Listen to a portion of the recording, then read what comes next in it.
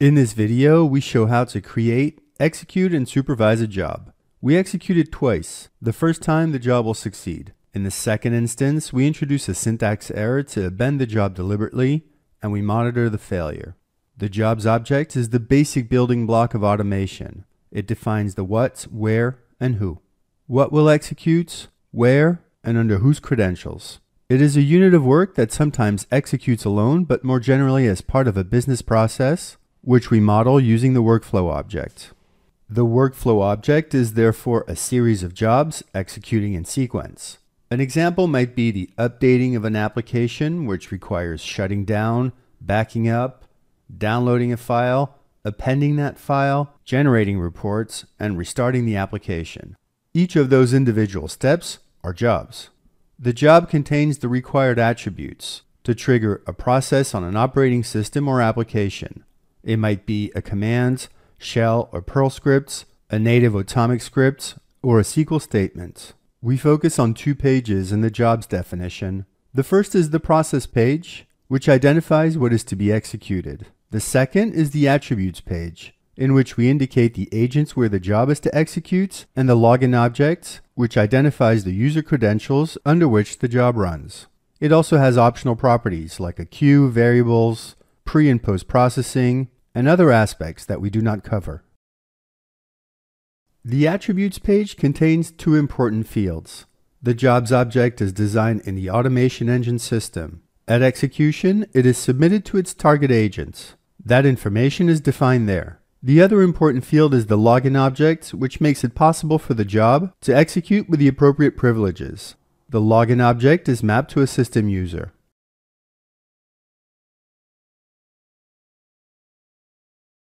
We start in the home perspective. In order to design our first job, we need to access a product interface dedicated to design activities, which is the process assembly perspective.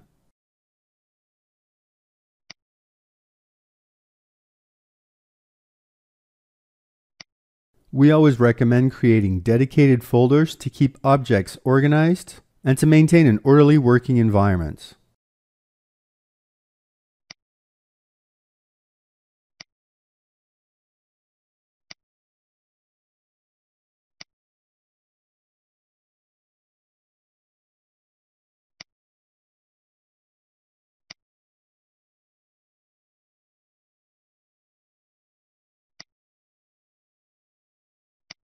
Out of the box, the automation engine has many predefined types for various operating systems and functional environments, like Oracle and web services.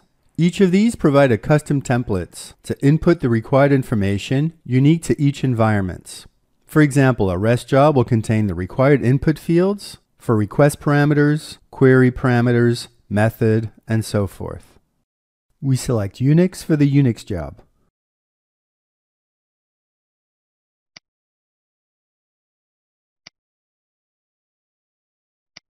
The title field allows us to enter a description, which makes it easier to search through our jobs. We recommend using it.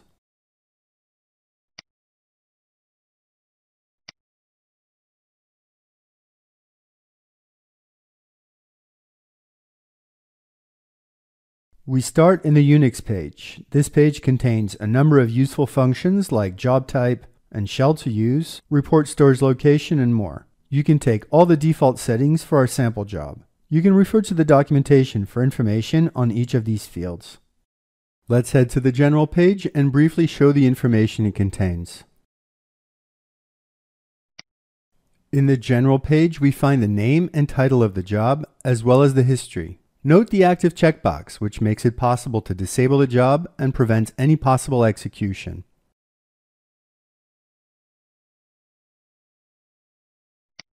Here we specify the agents. This configuration currently has two agents, one Windows and one Linux. Since this is to be a Unix job, only a Unix agent can be selected.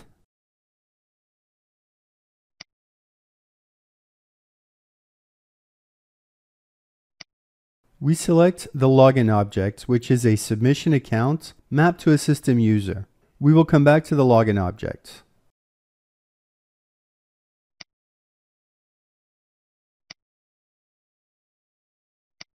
Note the automatic deactivation feature and its options. Deactivating a job execution means removing it from real-time supervision tools and capabilities, like restart. We deactivate executions when they no longer need to be on our radar. It guarantees the automated purging of old executions and helps us maintain a clean and tidy environment. By default, all executions are deactivated automatically, but you have other options. For example, deactivate if the job completes successfully, or after a certain period of time, or never. In the case of never, all executions remain in the monitoring perspective, but you can deactivate them manually.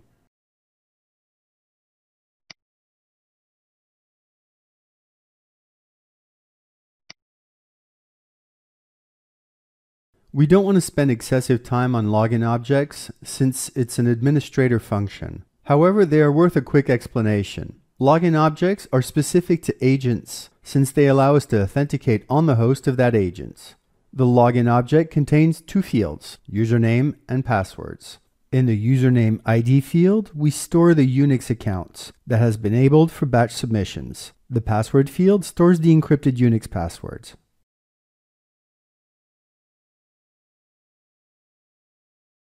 Let's consider the process page.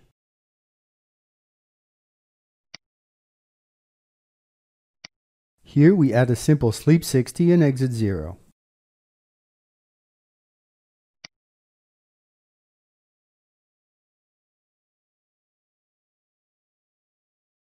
Before we execute our job, let's open the process monitoring perspective.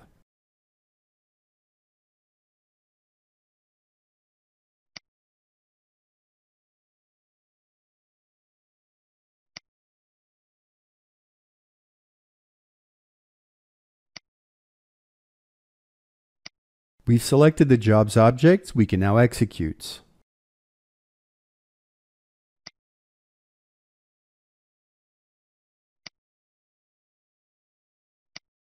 The job executes and sleeps for 60 seconds.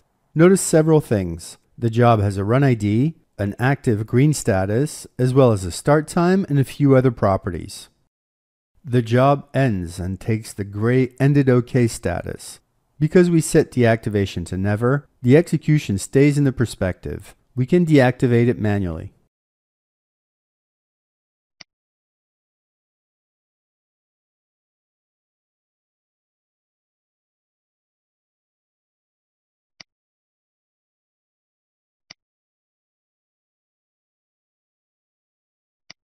The executions display will show a records of all previous runs of an object, whether the object still exists in the real-time monitoring perspective or not. Executions are available in both perspectives.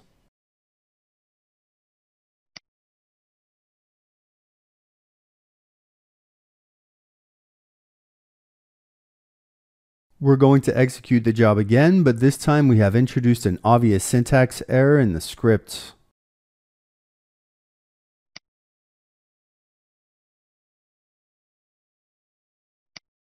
The default refresh interval is set at 90 seconds. You can manually refresh this and alternatively modify the default refresh time.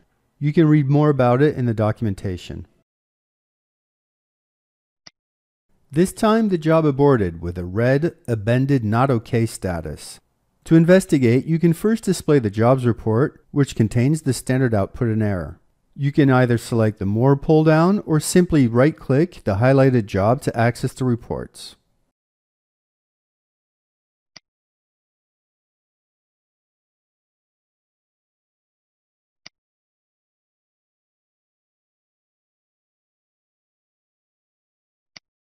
The report shows the error. Notice the red alert at the top of the screen. This is a convenience offered by the automation engine. Rather than constantly supervising for malfunctions, the engine will notify you via this general messages interface.